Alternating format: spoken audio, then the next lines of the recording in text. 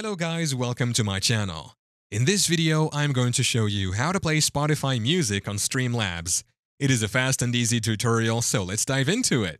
First, you have to have Streamlabs installed on your PC. You can download the Streamlabs software on their official website. Once you have downloaded the software, install it. You also need to have Spotify installed in your PC. You can also download the Spotify desktop app on their official website. So open the Spotify desktop app, log in to your account, and play any music. Now minimize Spotify, then open Streamlabs. Here on Sources, click the plus icon. Here, click Window Capture, then click Add Source.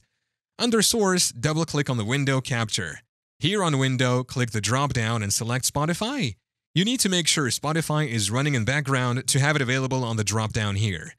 If it is not running on background, forget about finding it here.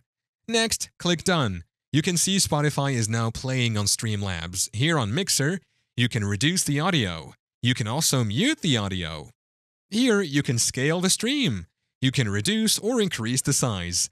And that is how to play Spotify music on Streamlabs. Thank you for watching. If this video was helpful, please leave a like and subscribe to my channel for more videos like this. And click on that notification bell to never miss an update.